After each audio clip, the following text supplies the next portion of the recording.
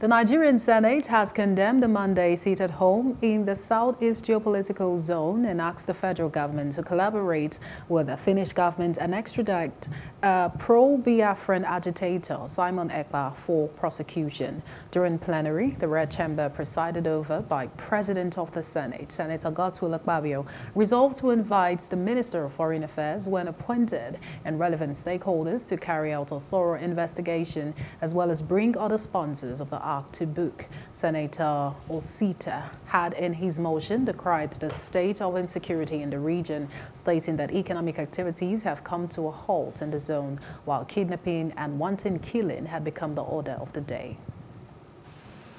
The Senate is aware that thousands of innocent lives have been lost since this action of sit at home in the Southeast started and properties worth over a trillion have been destroyed, which has resulted in investors leaving the region.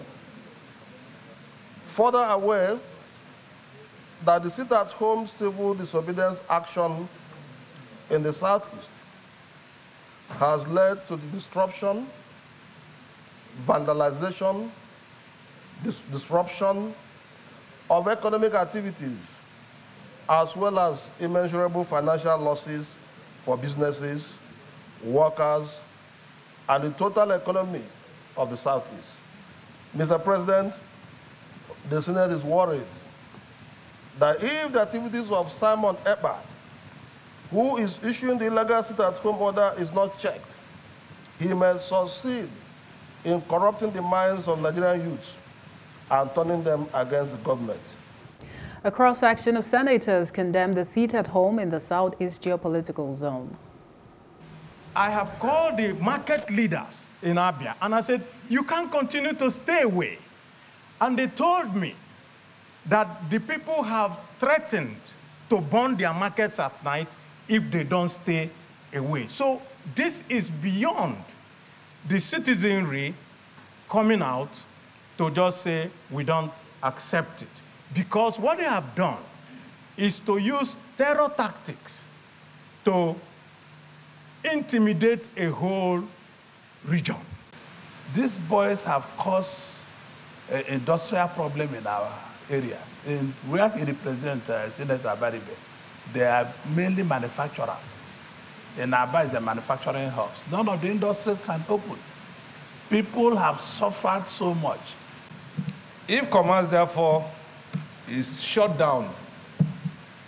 In this part of the country, I'm afraid it indeed a national problem that I think should be treated as a national challenge.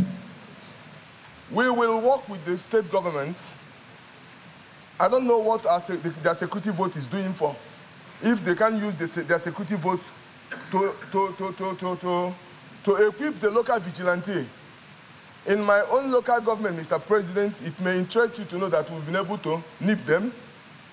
Going, for four, going to four months now, there is no single incident of kidnapping in my local government in Nnewi North.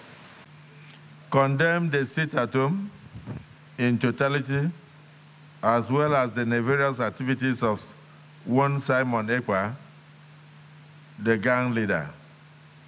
Those in support of prayer one say aye. Those against say nay. The ayes have it.